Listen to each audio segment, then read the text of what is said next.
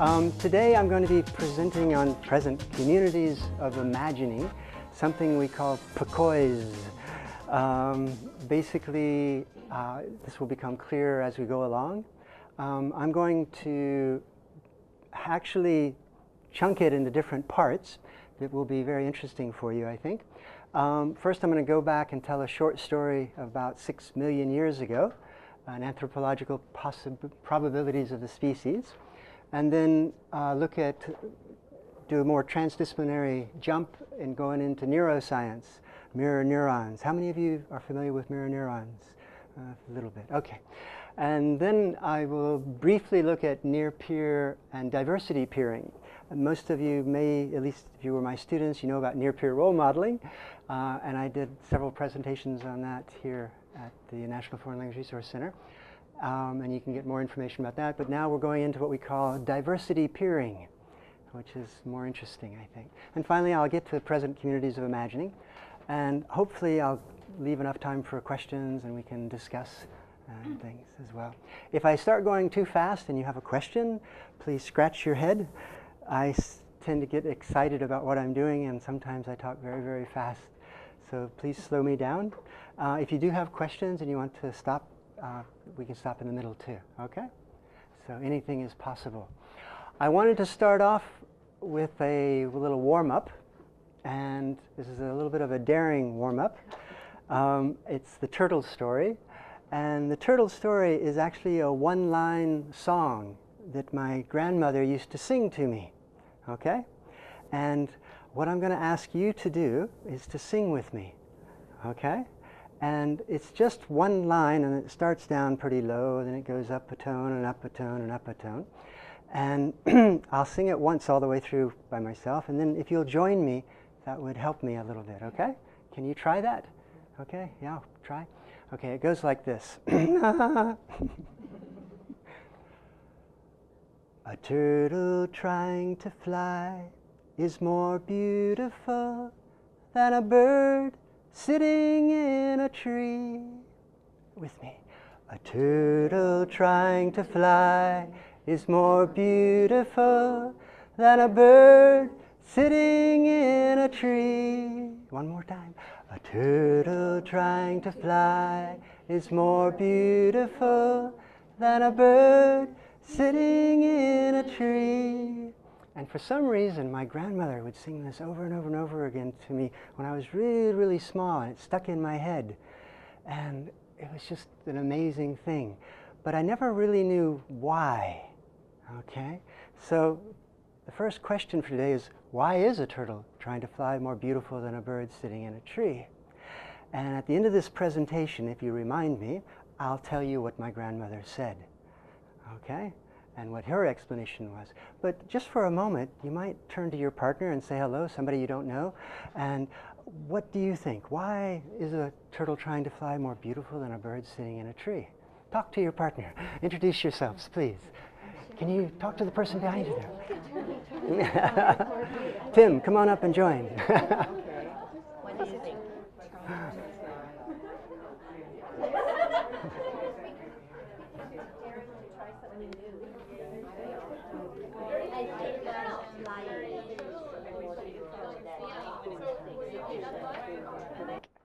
okay. Um, I'd like for you to put on your anthropologist hats, okay, and with a little bit of a imagination, and to answer the following questions. Why did we stand up six million years ago? Think about it. Why did we stand up six million years ago? What was the incentive to standing up?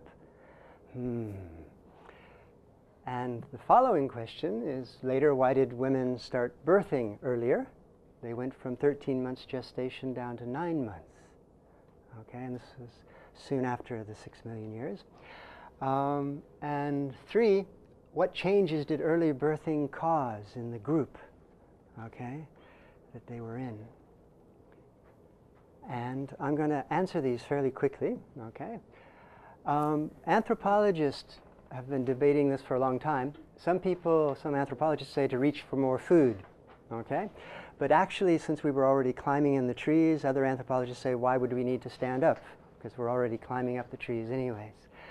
Others say to reduce body exposure to the sun, which is true that when you're on all fours and you're spread out on the sun, you actually, in the savannah where we were evolving, um, that it was very, very hot, okay? And standing up actually reduced the heat.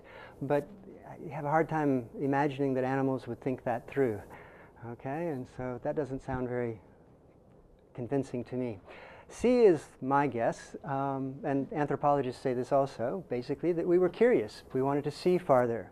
Okay, and you see this among cats and dogs sometimes. They come to the table and they put their paws up on the table and they want to, they want to smell farther, they want to see farther.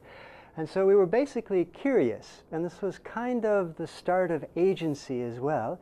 The fact that we could actually change our body posture and get a thrill for by seeing farther and, and understanding, seeing more places for food perhaps, and smelling further. Okay? So that was question one. Question two, why did women start having babies earlier? I asked my students, and these are some of their answers.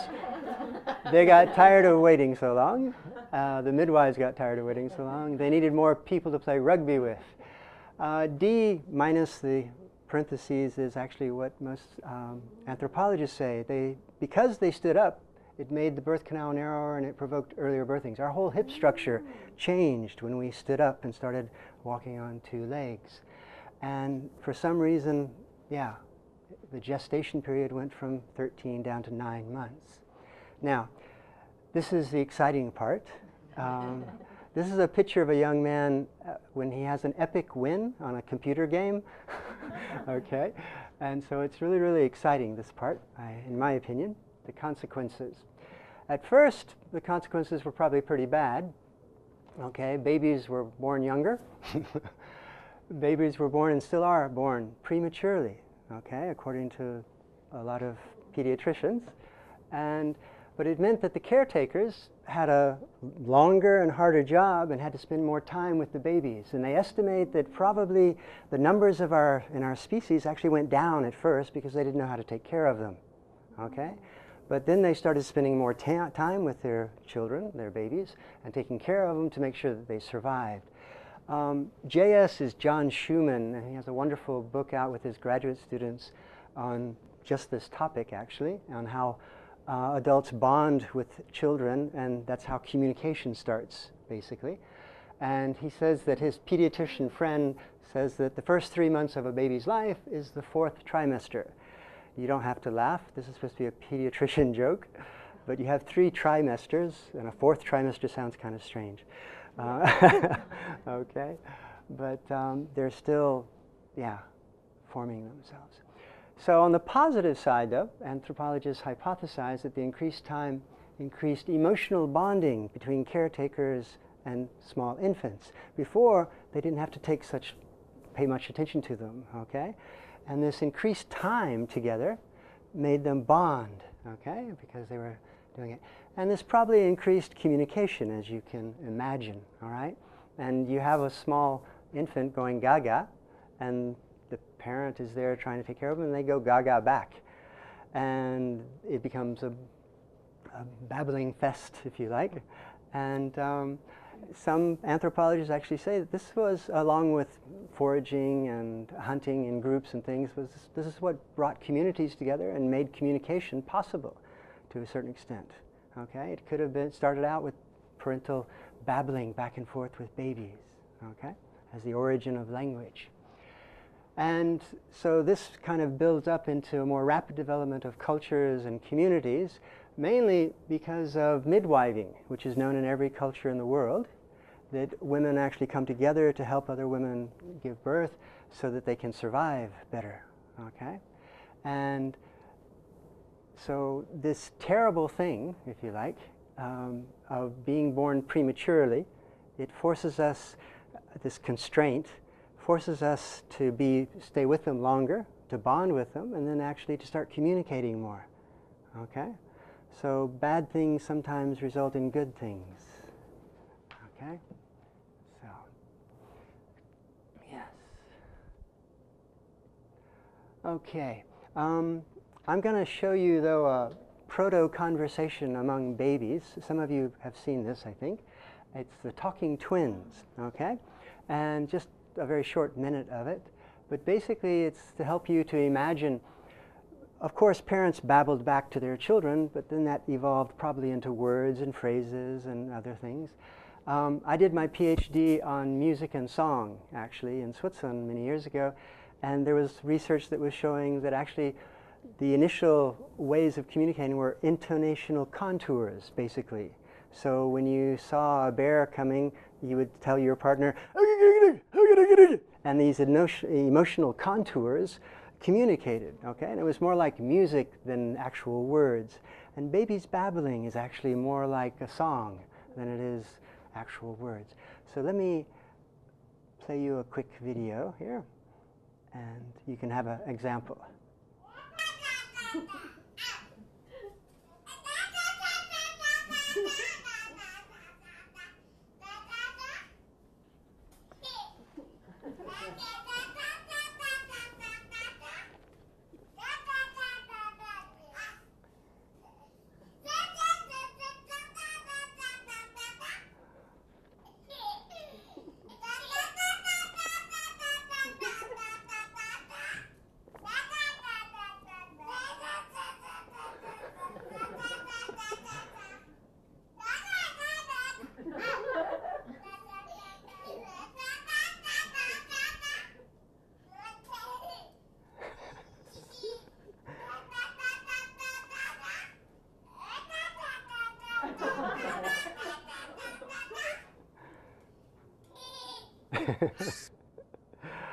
okay, turn to your partner and tell your partner, what do you think they were saying to each other? okay? What were they saying to each other?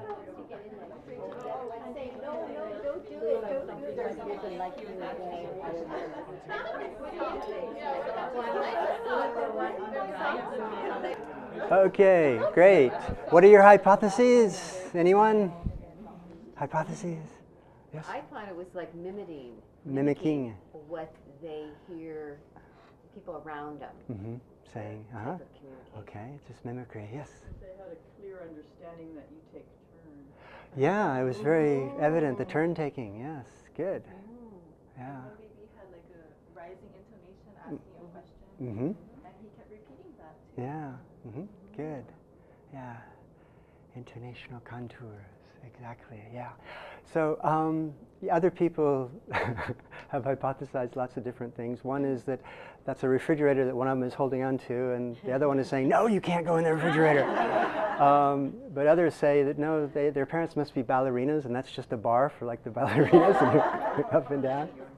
Um, uh, but obviously, yeah, I think they're imitating a lot of just what they're hearing, and maybe it doesn't really matter that it doesn't have any meaning. They're playing, and these are proto conversations, and it's a way t- to bond and communicate without really having to worry about meaning so much. It's the way of being together. Okay, it's very, very positive. Um, in our classes, we can actually do this sometimes in some ways. Um, can you help me? Oh. Come, come. We're going to have a proto conversation, okay, as a demonstration. All right? You know how to count from 1 to 50 in English?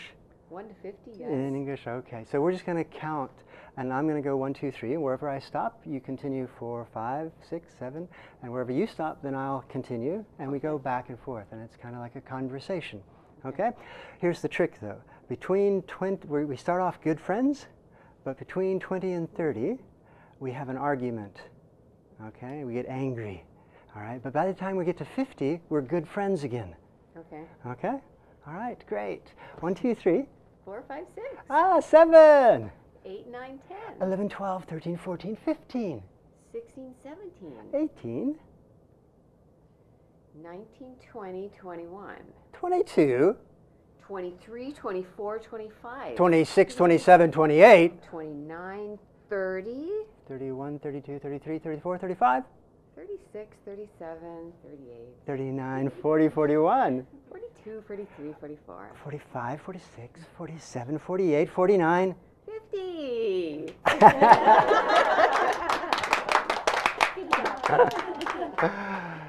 So you can do this with TPR routines. Uh, we do it with other types of stuff, up, down, left, right, front, back, cheek, chin, fist, with little children. And what's really interesting, though, is that they get to express some sort of emotion even though they're playing with the language. And this idea of playfulness is extremely important in language learning, and we'll come back to that a little bit later. Okay? Uh, still thinking with our anthropological hats, and I'm going to change in a moment to our neurosciences. Most of you are familiar with Maslow's hierarchy of needs, okay? And six million years ago, obviously, we were worried about having food and shelter and safety, okay? Um, but probably in the last 3,000 years, they estimate that we've gotten to the point where we, we have enough uh, shelter and food. Um, Clay Shirky, I don't know if you're familiar with his term of cognitive surplus. We work eight hours a day, we sleep eight hours a day, and the other eight hours we're kind of free. It's a cognitive surplus. And we can choose to do and be agentive with that surplus, choose to do whatever we want to do. Go to graduate school, for example. Okay? Um, so this cognitive surplus, at least among the, the populations who have gotten past the safety level, it means that you're really trying to self-actualize yourself and you're, you're worried about self-esteem and things like that. And it's, it's a better world, hopefully, okay, because of that. Um, so, but I, my caveat here is that I was in Indonesia um, two years ago as a plenary speaker at their uh, English teacher conference. And I was at the hotel and I got to sit beside this guy um, having breakfast and he happened to be a UN uh, forestry expert, and he was traveling around the Southeast Asian countries trying to get the governments to lower their CO2 emissions. And Indonesia is due to take over China, I think, in a few years with CO2 emissions because they're cutting down a lot of their forest. And I asked him, well, are you having any luck convincing them not to do that? And he said, nope, uh, they're not worried about that. They're still worried about day-to-day poverty and physical needs and safety, tsunamis, volcanoes, and things like that. And Hans Rosling, some of you may know him, he's a health expert from Sweden, and he has wonderful TED.coms.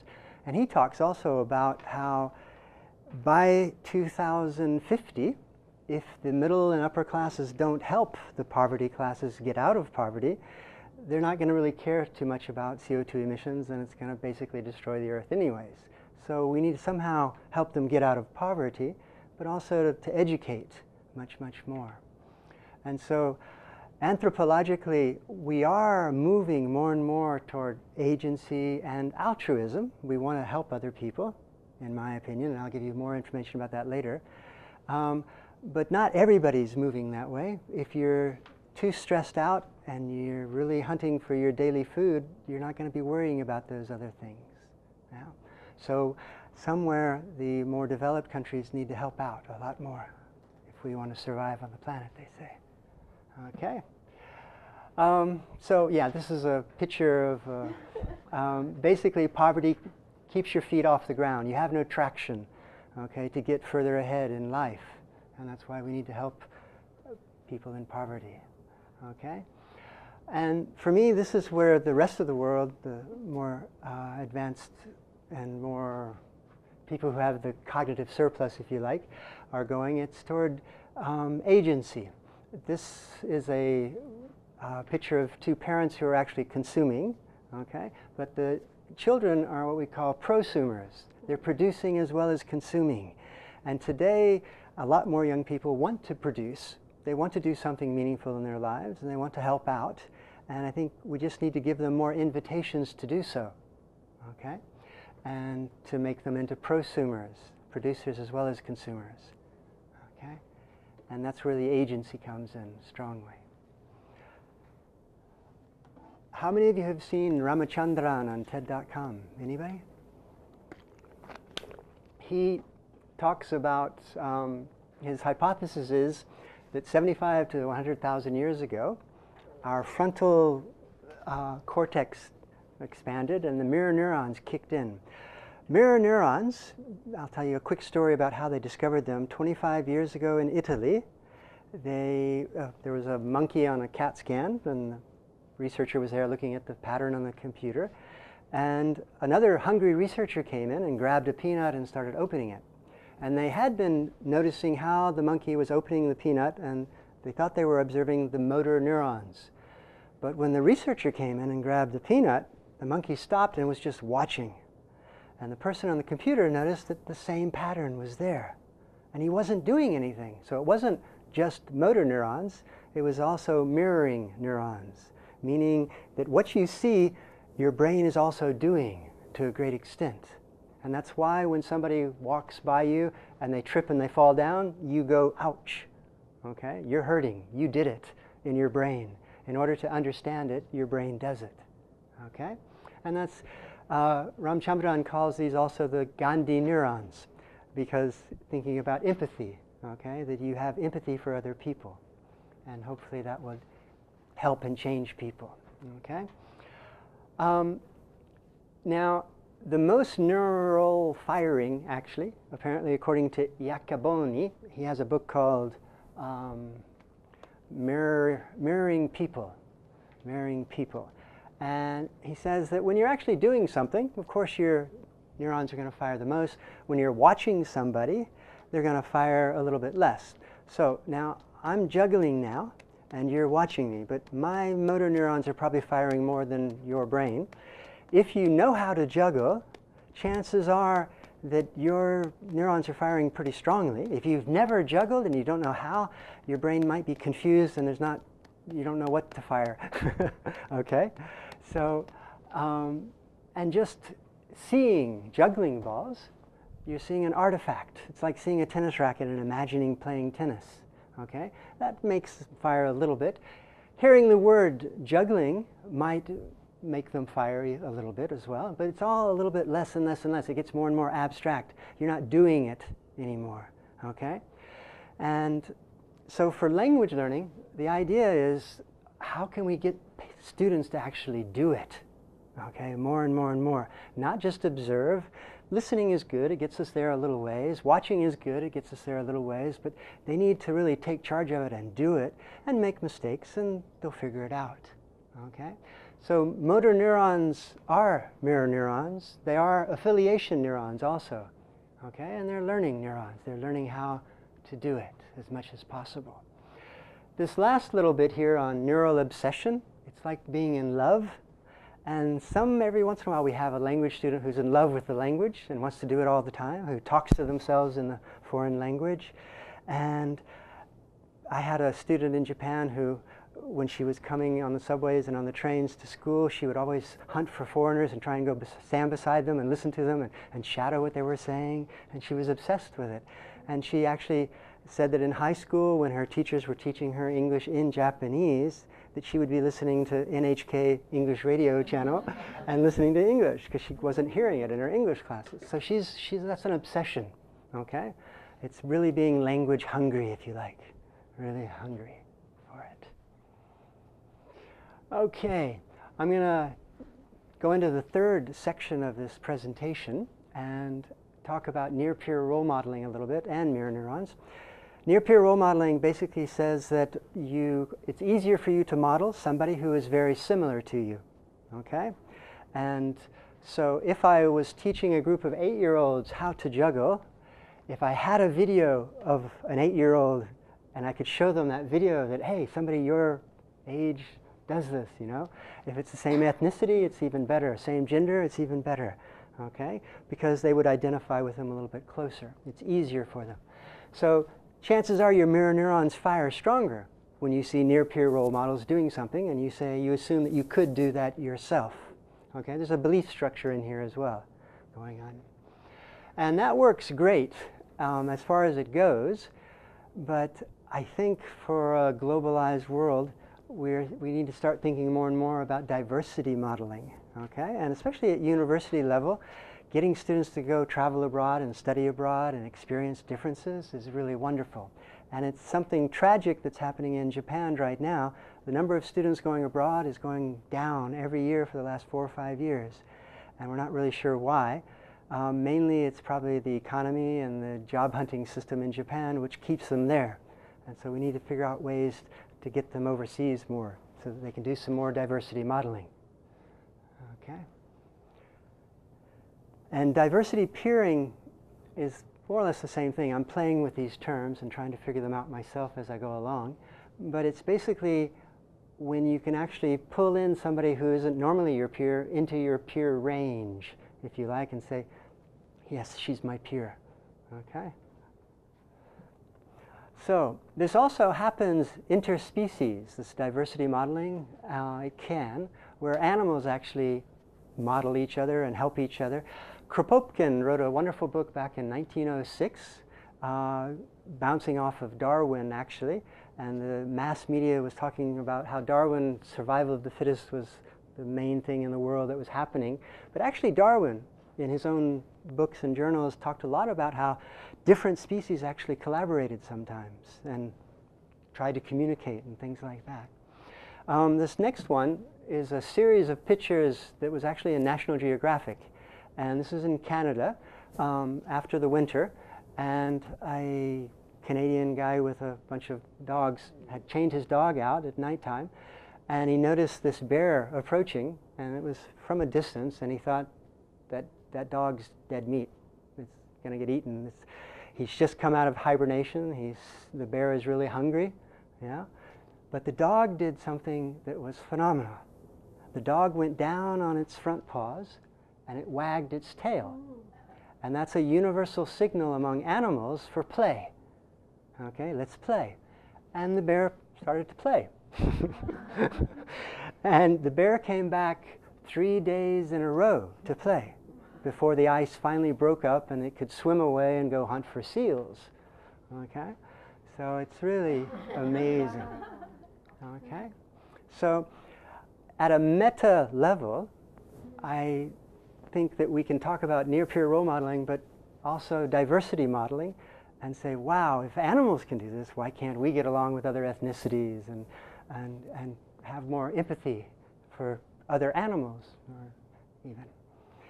Um, this does happen uh, quite often. All of us have pets, or many of us have pets. Uh, this is a wonderful YouTube video you can watch later if you want to. But the, this boxer, this huge boxer, is playing with this baby and putting its mouth all over around its foot, and you could just imagine the fear that I would have. But actually, there's the parents in the background saying, "Go easy, Linus. Go easy, Linus," and they're playing, and they're having a really, really good time. So. Um, in socio sociology, they talk about bonding social capital. Capital, you all know, is like money, it's value. Social capital is your uh, networks. And bonding social capital is bonding with the people who are very much like you, near peer role modeling, if you like. Okay? So bonding with people who are like you seems to be very, very easy. But um, these researchers are saying that a society that has only bonding social capital will be segregated into mutually mutually hostile camps, probably. And so a pluralistic de democracy requires a lot of bridging social capital among groups. Okay? And I know in my own university and most universities, probably all over the world, we need more bridging between departments. Sometimes they don't talk to each other. Um, different groups don't talk to each other. Um, I would love to see graduate students groups from different universities talking more with each other and doing exchanges and things like that. But we need to somehow bridge more than we need to bond sometimes. So this is basically what diversity peering is. Rotary clubs do this a little bit. I wasn't familiar with Rotary clubs until I went to Okinawa uh, about three or four weeks ago, and the person there invited me to go to this Rotary club meeting, and it was people from very, very different businesses coming together, and not just to enhance their wealth, but to enhance the health of the community. And they were giving scholarships to students going to travel abroad and things like that. So they were doing lots of wonderful things. And, but they were communicating a lot from different fields, different business fields. And that's a little bit of diversity peering. Okay, now I'm going to jump up one scale a little bit. Um, and this is a chart that Satoko actually from last summer gave to me uh, on the number of NGOs and NPOs in Japan. Okay, and it's just over seven years. It's a chart, and you can see that the number of them uh, rises phenomenally from just a few hundred to 26,000. Okay, in just a period of six years, and um, but the other scale, it actually goes down, and this is the um, what is it? The, the number of NGOs that are accredited by the government. Okay? And so I'm seeing, I think, people becoming more altruistic and doing more bridging social capital and wanting to help others a lot more, identifying with them, with their mirror neurons and their creativity and their curiosity. But what they're saying here is we don't need to be accredited by the government. We just want to help. Okay? And that that's what is really meaningful, helping people. We don't need the government to say it's okay to help people. Okay? So let me summarize a little bit about what all we've been going through here.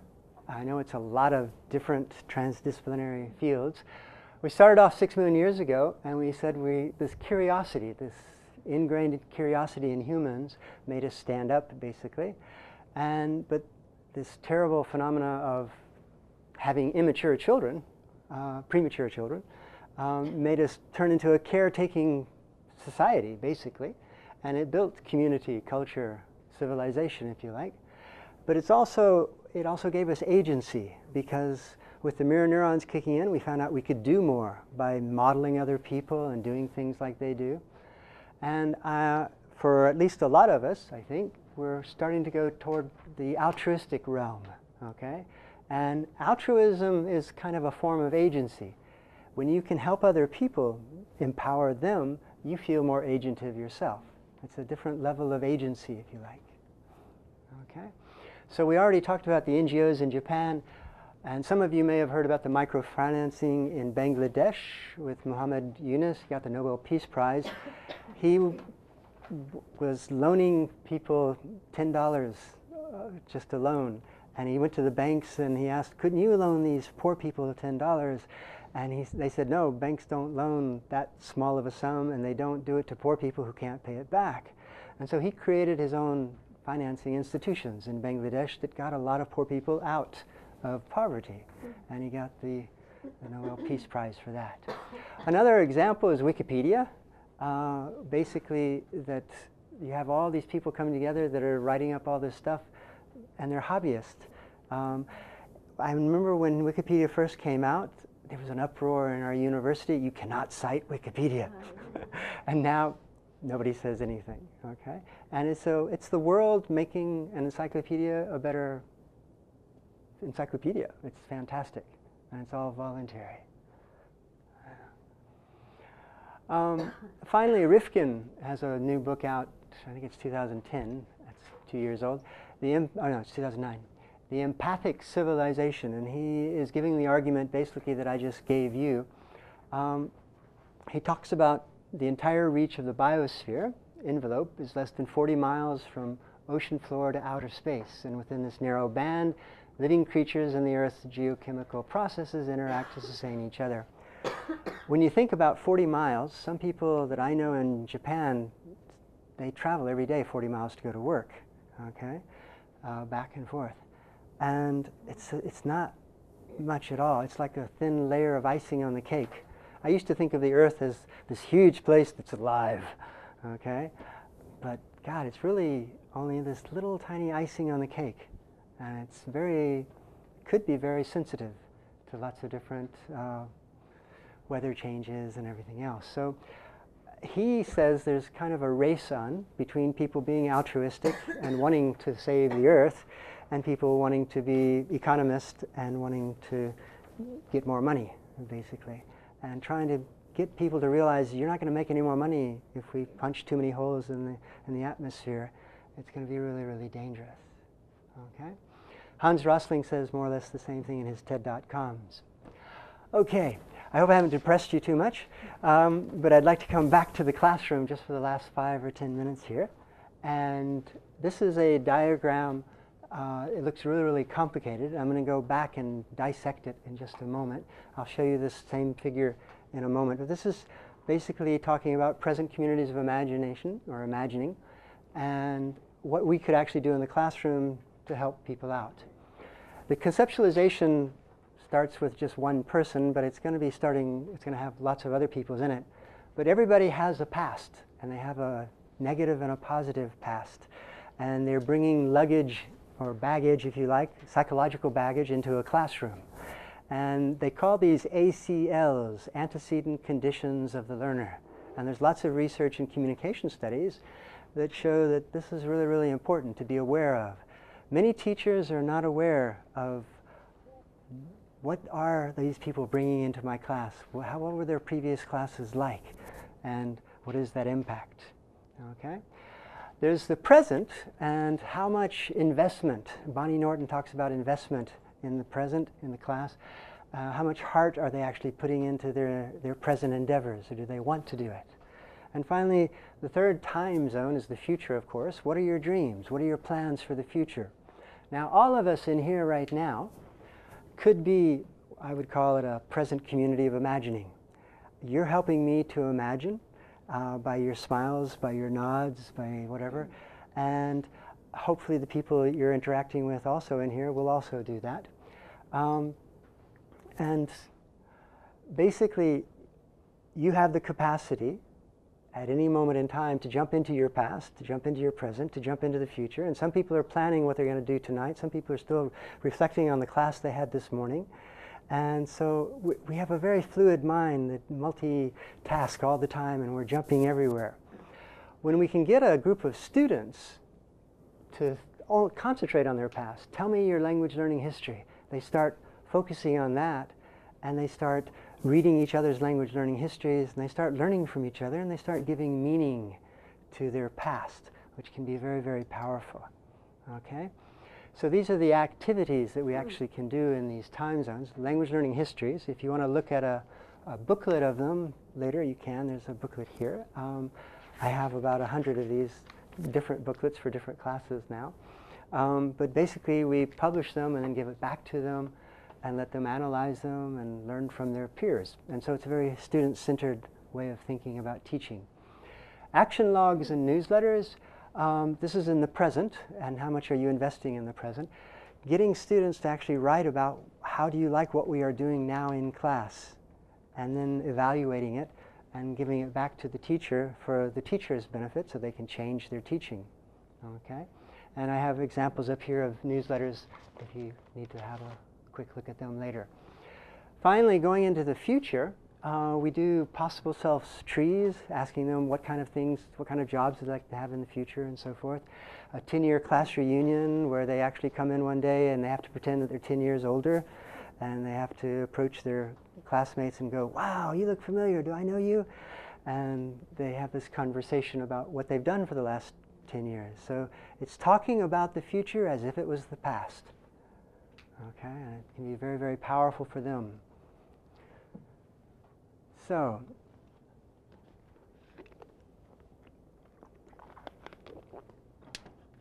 we presented some of this information at uh, AAAL in Boston just a few days ago, and um, Zoltan Dörnyei was there, and we started talking about belonging and near-peer role models and possible selves.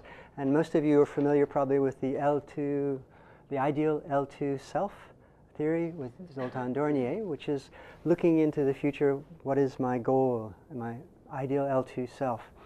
And I and my colleagues started playing with it and we started saying, well, what about the ideal L2 group? Okay, let's think bigger than just the ideal self. What about the ideal L2 group? You're a class of students learning this language how can you ideally help each other and support each other and make it a better learning environment? Okay. Also, I'm very, I love scaffolding things, and for me, possible selves, that's kind of like what I'm going to do when I finish school. Um, ideal L2 self, that's a long way away. And I really want people to concentrate more on the immediacy now. And so I'm playing with the term of L ideal L2 learning self. So how can I be a great learner now, in the present? And how can I help my classmates? And how could my classmates help me? How can I get the, my class to have that conversation with each other about, we're going to be here three months or six months together. How can we support each other better? And why, how can we as teachers turn that over to students to reflect on? How would you like to be at the end of this semester? Okay? Instead of the distant, distant future. Okay? So we also say that pasts are always emerging. um, if you tell your story about yourself today, um, you tell it in one way, but if you tell it about it tomorrow, you're one day wiser, hopefully, and you might give different meaning to it. Okay, so pasts are not set in stone; they're emerging past. Leo Van Lier gave a wonderful presentation at AAAL uh, just about this theme. Um, and of course, we have emerging futures, and the presents are always changing. So, this, we call it, this he or she, a wicked eyebrows. and it looks like they have wicked eyebrows. Um, but you have to imagine that there's 30 of these in a class, perhaps, and they're all together in this present community of imagining. And the whole point of bringing up a term like present communities of imagining is to try and refocus our attention on the present and on the possibility that we might imagine. Okay, imagine something better for ourselves, better for the school, better for the world, and express our agency in that way and our altruism and have invitations to do so. Okay? And you have that on your handout as well. Um,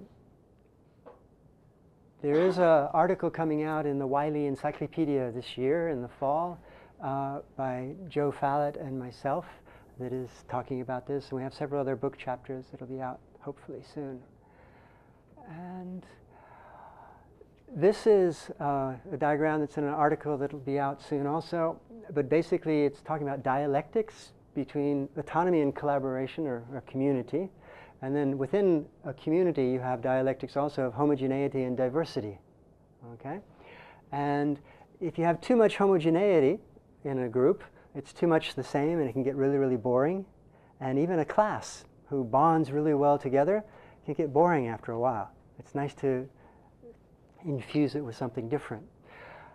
Too much diversity, though, would be really, really confusing. Okay? If, we had, if everybody in the classroom spoke a different language, it would be really problematic.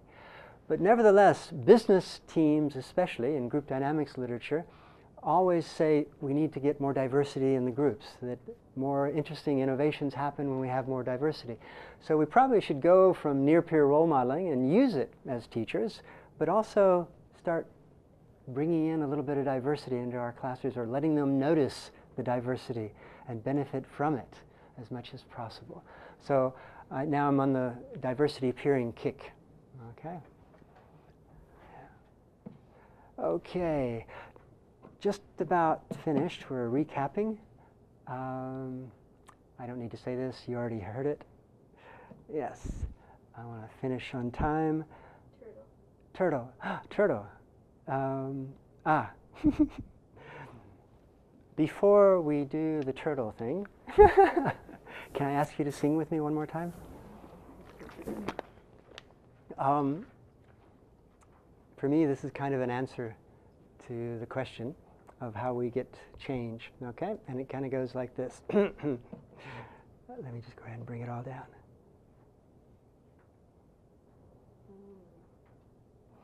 So it goes like this.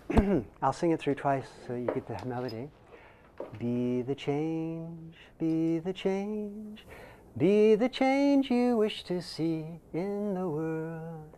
I don't serve my dear world, by pretending to be small, I'll stand tall, I will stand tall. When you change yourself, you change the world. Please sing with me. Be the change, be the change, be the change you wish to see in the world. I don't serve my dear world by pretending to be small. I'll stand tall, I will stand tall. When you change yourself, you change the world. And you know who these words are from? Uh, yes? it's Gandhi and then Michael Jackson.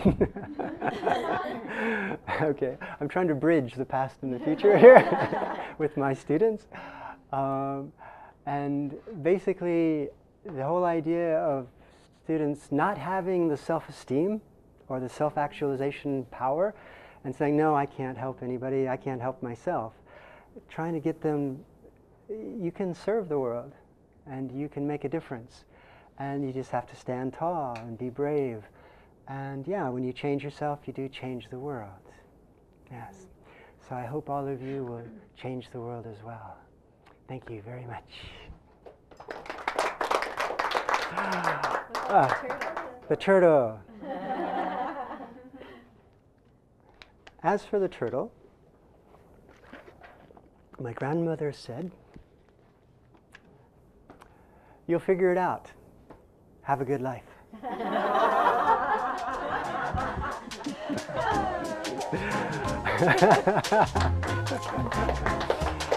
okay.